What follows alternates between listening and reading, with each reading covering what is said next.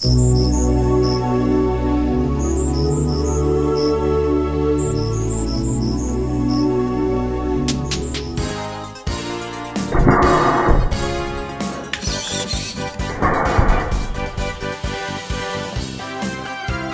my name is Colleen. Hi, my name's Ryan, Quality Control Engineer and Accuracy Tester for the ANTS team. Didn't see you there. My name's Tim, Chief Wire Connector on the ANTS team. My name's Jack. I'm the chief pumper upper on the ANTS team. So this is a demonstration of our automatic mode. Uh, in a couple seconds I'll put it into auto mode where I'll track a laser pointer, uh, track it down and shoot a dart at it. We're using this Pixy cam right here mounted on the barrel to hone in on where the laser pointer is actually pointing on our shoot over there. So now it's in free fire mode. So now it's in automatic mode.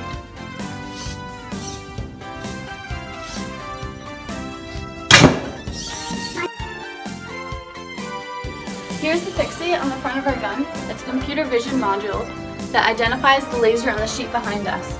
So this is a PixyMon debug and calibration software. So as you can see, it identifies the laser using onboard visual processing.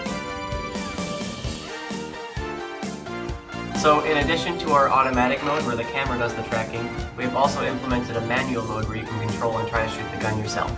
There's two ways to try to aim the gun. The first is with the D-pad, but as you can see it causes very jerky movements because the D-pad is only a digital button and it can only set the servos at their max speed.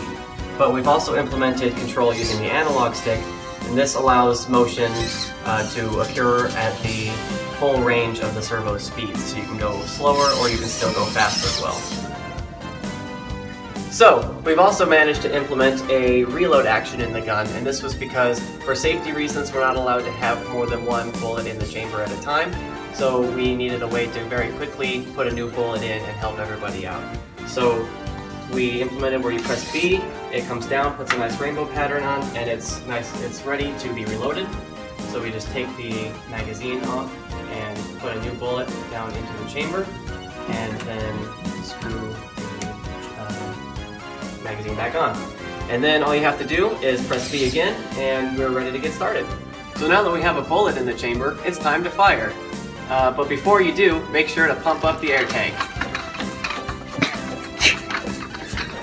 So now, if we press the red start button, we'll head into live fire mode in which the gun will actually shoot.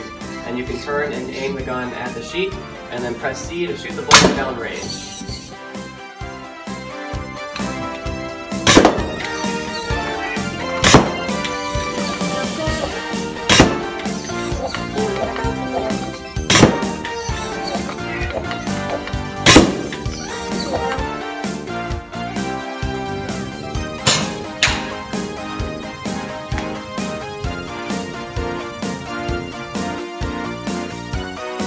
Hi there!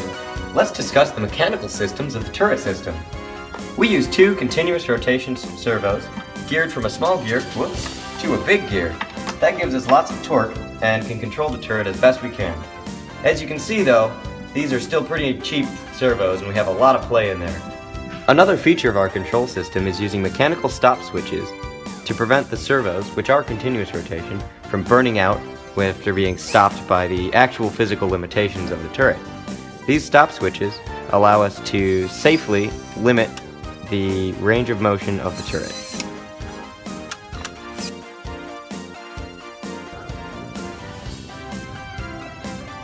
Everyone's unique, including our component's voltage requirements. And the solenoid was no different. It was being the first component that we had to work with, it needed 12 volts at 1 amp, which is something that our Smart Fusion board could not possibly provide.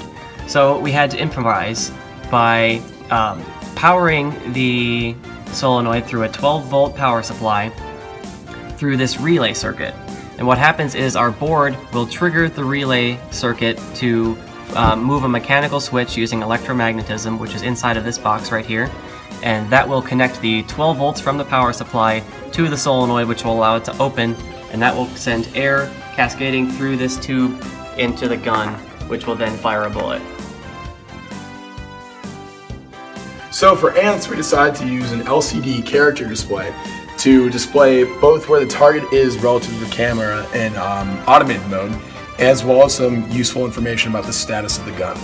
So here we have chamber, which indicates whether or not the gun is loaded or clear, the chamber is clear.